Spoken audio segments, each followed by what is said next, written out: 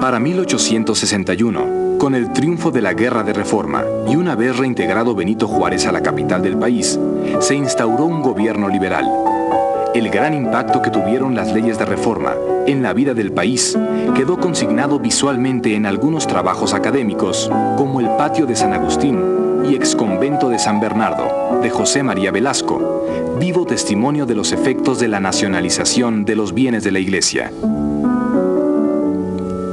Pronto vino el Segundo Imperio, que abarcó desde 1864 hasta 1867. El emperador Maximiliano de Habsburgo dio preferencia a los artistas mexicanos por sobre los extranjeros y se advierte un giro hacia la representación de asuntos tomados de la historia patria.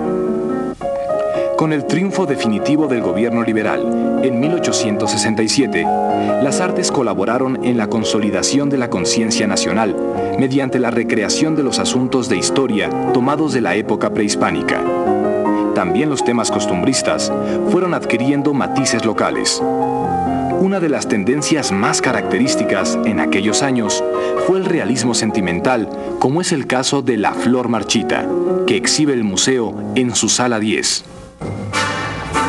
Después del triunfo de la Revolución de Tuxtepec, en 1876, ascendió al poder Porfirio Díaz y México entró en otro periodo de su historia. La pintura y escultura monumental se constituyeron en los medios de expresión del nacionalismo. Los temas tratados con mayor frecuencia fueron la historia antigua y la conquista de México pero más interesaba a los pintores los episodios de la reciente guerra contra la invasión extranjera, especialmente en los que el general Porfirio Díaz había tenido participación sobresaliente. Por ejemplo, Gabriel Guerra realizó la enorme escultura del general Carlos Pacheco, quien combatió a favor de Díaz y en la batalla perdió una pierna. El género costumbrista alcanzó una expansión considerable en la pintura de finales del siglo XIX. En la obra El velorio de José Jara aparece el campesino ejemplar que encarna los valores del grupo en el poder. Por otra parte, el ingreso de México a la modernidad hacia finales del siglo provocó una serie de reacciones por parte de los artistas. Dos fenómenos distinguen a la cultura de fin de siglo. Primero, la búsqueda de la belleza absoluta y segundo, el decadentismo que se caracterizaba por el desencanto, el hastío y el más negro pesimismo. Las manifestaciones modernistas se fueron abriendo camino y tuvieron su pleno desarrollo en las primeras décadas del siglo XX, cuando el Estado mexicano, recién surgido de la Revolución de 1910, intentaba afirmarse sobre nuevas bases sociales y legales. La revolución marcó de manera profunda el arte del momento. Hacia 1920, la Escuela Nacional de Bellas Artes, que era antes la Academia, mostró una sorprendente apertura a las nuevas corrientes artísticas con la fundación de las escuelas de pintura al aire libre.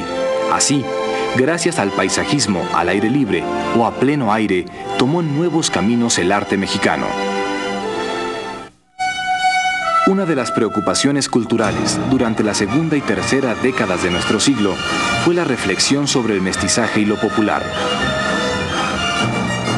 El ascenso de los personajes populares al papel de protagonistas constituye una de las características de las imágenes utilizadas por el nacionalismo modernista y principal legado a la Escuela Mexicana de Pintura, que pretendía proyectar plásticamente nuestra propia identidad o todo aquello que nos distingue como nación aspiraba a la originalidad como valor supremo del arte moderno, añadiendo como temática central lo mexicano.